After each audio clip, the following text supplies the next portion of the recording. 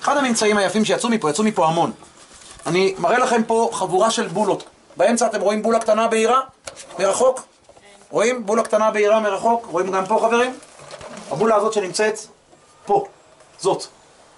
הבולה הזאת היא תגלית חשובה באופן בלתי רגיל לעולם הנוצרי וגם לעולם היהודי למען האמת. זו הבולה הראשונה בהיסטוריה שמזכירה את קיומה של העיר בית לחם. אה, לא שמעתם עליה? לא מזמן נמצא.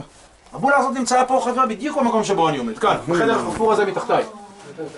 הבולה הזאת שייכת למאה השמינית לפני הספירה, וכתוב בה כך, בשביעית לבית לחם.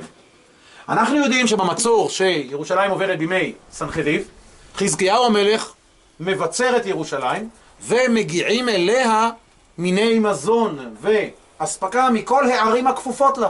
כך נמצאו מאות ידיות למלך, בכל רחבי יהודה וגם בירושלים עצמה, בכמויות אדירות.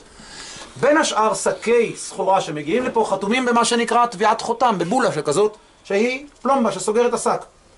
זה אומר בשביעית לבית לחם, כלומר בשנה השביעית לבית לחם. בית לחם שולחת שק מזון כזה, חבר'ה, הבולה הזאת מתוארכת לאמצע עד סוף מאה שמינית לפני הספירה בגלל הקונטקסט שבו היא נמצאה.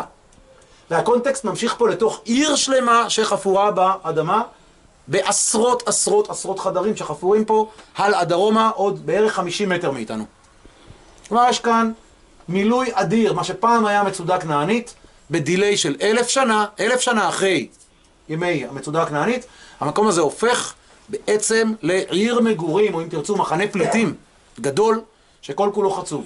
אחד הממצאים הכי מרגשים שנמצאו פה, אני לא יכול להראות לכם אותו, אני רק אספר לכם עליו, כלוא בחדר בערך 20 מטר דרומה לנו עכשיו, בתוך ארון מתכת נעול.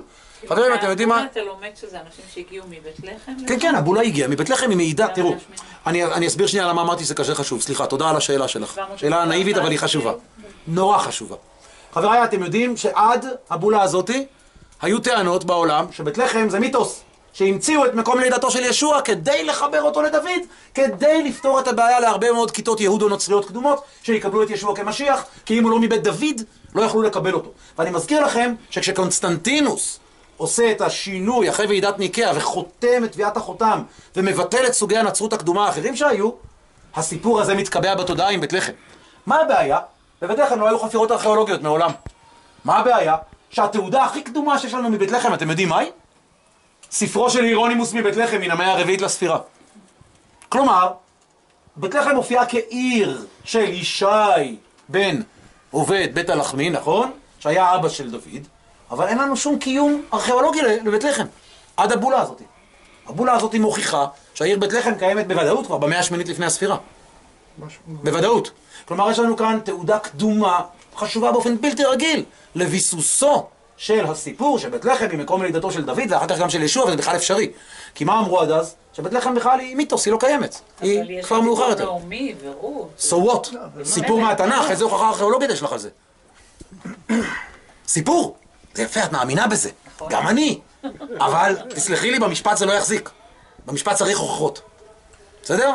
במשפט אנחנו צריכים הוכחות. אפשר להגביל את זה לממצא ב... אז, אז שנייה אחת, קודם כל, בולת בית לחם, סיפור אחד, סיפור המצודה שמתמלאת כל כולה בחללים חללים, אבל התחלתי לספר לכם שישנה עוד ממצא מדהים שנמצא קדימה.